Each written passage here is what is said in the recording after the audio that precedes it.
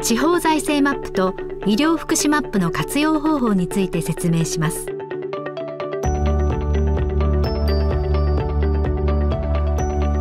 地方財政マップには自治体財政状況の比較1人当たり地方税などの4つのメニューがあります。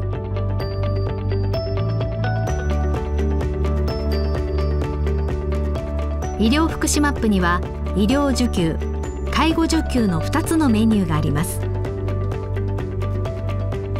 地方財政マップ医療福祉マップについては政策では行財政や医療福祉分野における現状分析課題抽出政策立案支援総合計画の検討などで活用が想定されます。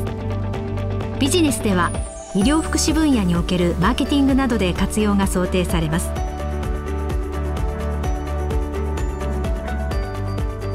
活用例として3つを想定しそれぞれの活用方法を見ていきます。はじめに活用例1として予算策定に向けて財政状況を相対的に評価します。トップ画面より地方財政マップ自治体財政状況の比較を選択し静岡県静岡市を例として各種設定を行います。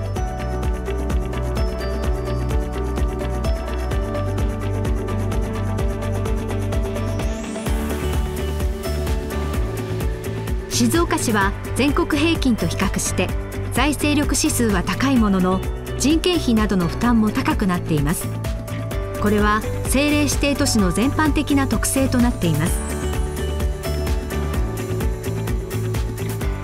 ここでは同じ政令指定都市の岡山県岡山市と比較してみます。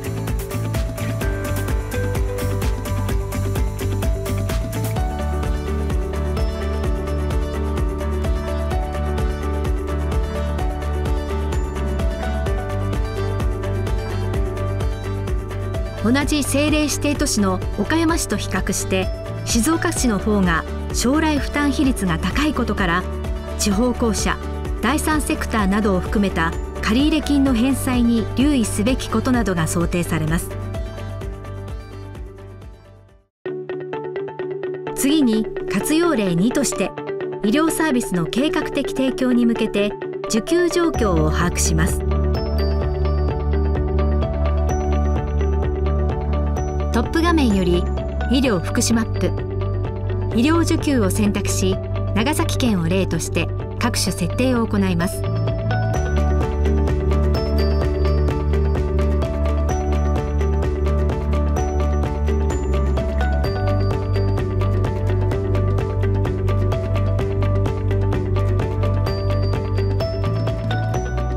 病院の推計入院患者数が長崎県は1403人。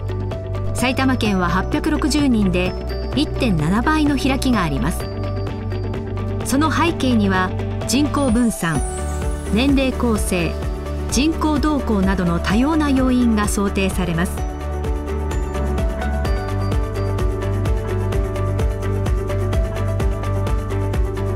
長崎県と埼玉県の入院患者数の推移を比較します。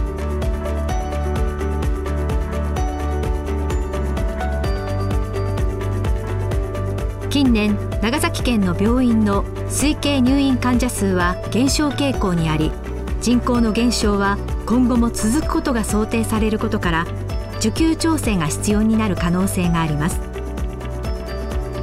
一方埼玉県の病院の推計入院患者数は増加傾向にあり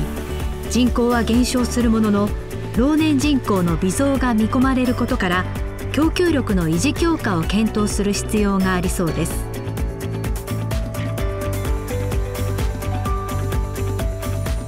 次に活用例3として介護サービスの計画的提供に向けて受給状況を把握します。トップ画面より医療福祉マップ介護受給を選択し島根県を例として各種設定を行います。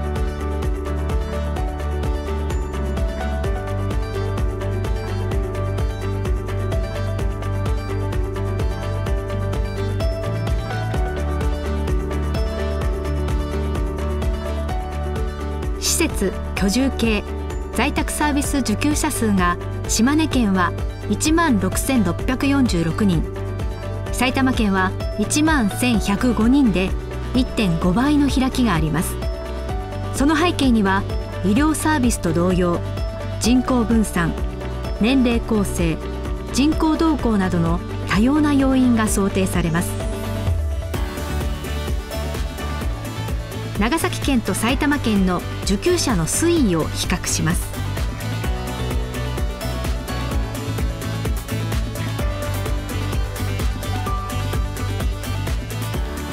近年島根県の受給者数は減少傾向にあり老年人口も減少に転じることが想定されることから受給調整が必要になる可能性があります。